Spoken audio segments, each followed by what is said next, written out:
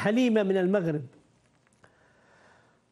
السلام عليكم يا شيخ. هل صحيح أن الجلوس في مقعدك بعد صلاة الفجر مع ذكر الله وقراءة القرآن يعادل حجة مع الرسول عليه الصلاة والسلام؟ وما معنى قول الله تعالى إن قرآن الفجر كان مشهودا وجزاك الله خيرا. الذي ثبت أنه يكون كحجة مع النبي صلى الله عليه وسلم عمرة في رمضان.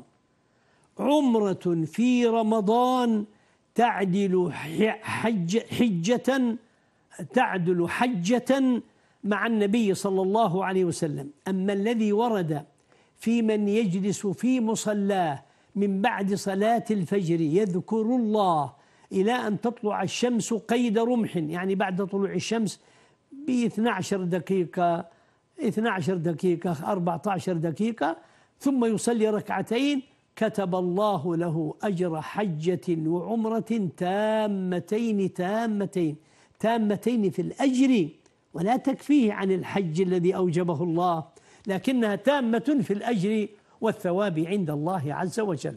ثم تقولين لا أعد أعد السؤال وما معنى قوله تعالى إن إن قرآن الفجر كان مشهودا؟ معناته قرآن الفجر أي صلاة الفجر وسميت قرآن الفجر سميت صلاة الفجر بقرآن الفجر لأنه في صلاة الفجر تطال فيها القراءة.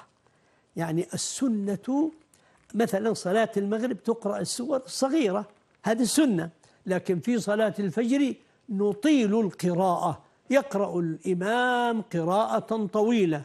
يقرأ صفحتين صفحة ونص صفحة على الأقل. إي نعم مما يحفظ.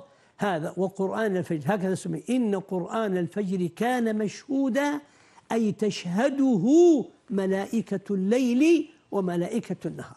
ملائكة النهار التي نزلت وملائكة الليل قبل صعودها.